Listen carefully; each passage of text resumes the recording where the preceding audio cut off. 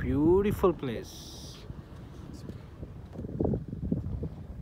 So peace. Car ये हमारी car है, ये हमारे दोस्त हैं, पार्टी कर रहे हैं।